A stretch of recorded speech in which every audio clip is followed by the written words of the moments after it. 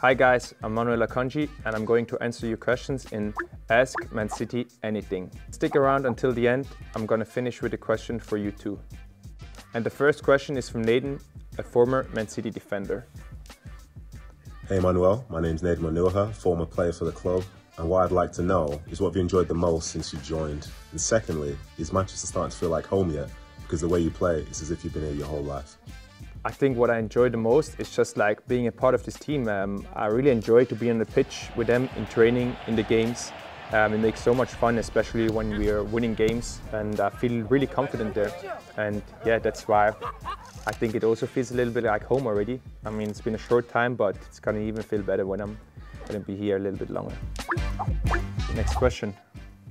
Hi Manuel, this is Mulv in Dallas, Texas. Welcome to City. You have great technique with the ball.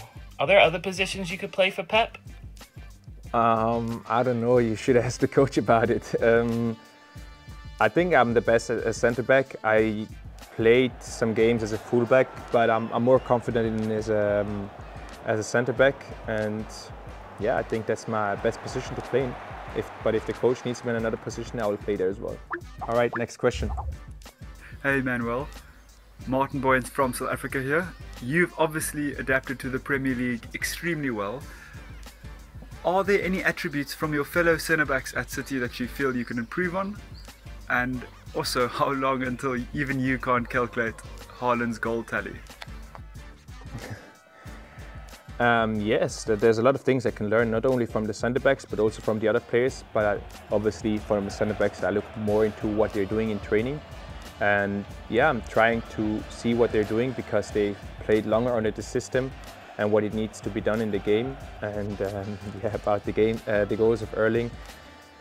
I don't even know how many he has right now. I just, I'm just happy if he keeps on scoring the goals for our team and we're winning the games. He's taking quite a short run up. He steps up and puts it into the corner of the net.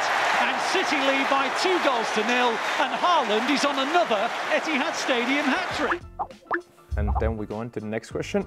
This one is from uh, Jensen Jack.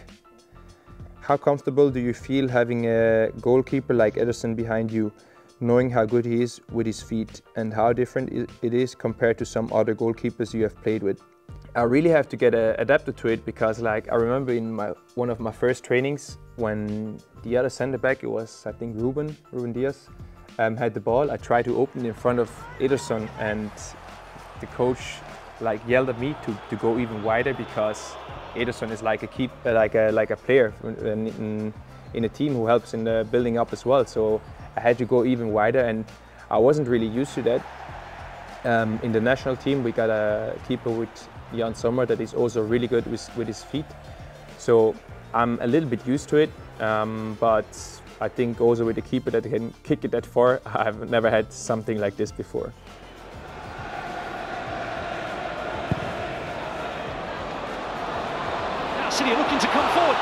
Looking to get there. He will do. And he'll score. It was a long ball forward, and Haaland was just too strong. He bounced off a couple of defenders and put it into the unguarded goal. An assist from Ederson. a finish from Haaland. It's 1-0 City. We go on to the next question. Hi Manuel, it's Kel Spellman here from Matchday Live. First of all, I want to say a massive welcome and thank you for hitting the ground running at Manchester City. I think it's safe to say you've made a massive impression on All Blues and you look like you've been here for years. I wanted to ask you though, what do you attribute the way you've settled in so quickly to? And also, how difficult is it coming into a Pep Guardiola system? And looking forward to seeing you take to the pitch again soon. Cheers, man. I think they they brought me here or they wanted me here because of the, the way I play, because I like to play from behind. Um, I'm, I'm pretty fast as a defender, I'm physically, um, can defend good in 1v1s and that is, I think, what, what they want from a centre back at Man City and the way they play.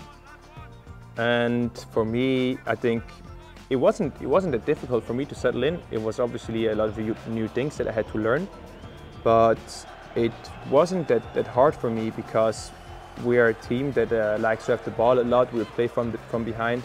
Um, we got centre backs that are involved in the in the offensive game as well. So that's something I really like to do, and it, it wasn't that hard for me. But there's still like a lot of new things that come uh, come to us every day and every game. So yeah, we still got to be ready every day. Hi Manuel, my name is Amer. I'm a tactics writer and a Manchester City fan. I wanted to ask you about the different qualities you think a centre back needs to thrive in a highline system against which qualities you think are important when defending your own box in settled defence, more deep and close to your goal. Thank you very much. So I think um, it's important um, for uh, when we when we defend up high that you that you need to know how to read the game, like when you know when to when to step out, when you stay in your position, and yeah, it obviously helps a lot if you're good in one v ones because that, that needs to be done from a lot of um, our centre backs in the in the way we play. And yeah, when you get some pace, it's not it's not that bad as well. And when you defend deeper, um, it depends where the ball is, but it's always important that we, as like the defenders, stay on the same same height so we can control the uh, the offside line and sometimes one of us needs to step out and then the other three need to need to say get the back of the of the defender that just that just went out. And yeah especially also on crosses um, yeah it takes different things that we need to do on the on the game. And yeah important is that we that we communicate with each other and always have each other's back. We go on to the next question.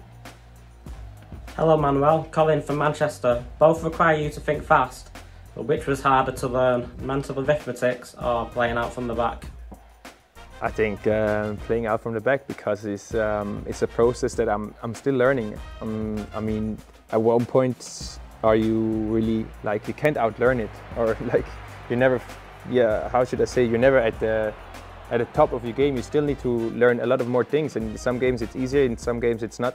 So I'm trying to get better every day. To the next question. Hey Manol, this is uh, Francisco with MCFC Austin. Me and my mates were watching the game and we basically we're comparing you to Vincent Kompany, obviously a club legend for us. Um, so I wanted to know if he was an inspiration to your style of play, and if there were any other former City players or non-City players that inspired your style. Um, you're doing awesome. We're um, very very happy to have you, and we're looking forward to keep, to see you continue to play with us. Yeah, I watched uh, Vincent Kompany play a lot um, when he when he was at Man City. Uh, he was one of the best defenders around the time, maybe the best defender in the world at his at his prime, when you can say it like that. Um, he was really good, and I tried to do yeah some stuff like like hit it when he was when he was um, back here. And I mean, I watch a lot of football, and it's not like one certain player that I really see as a role model or take a lot of it stuff. Like I, I look at a lot of games and uh, I see players things what they do and I try to do it sometimes. Sometimes uh, I think I can do it a little bit in a better way, but I try to learn out of every game that I'm watching. So before I go, I got one question for you. What's been the highlight of the season so far? Thanks for your question. It's been nice getting to know you a little bit better and uh, see you soon on the pitch. Bye.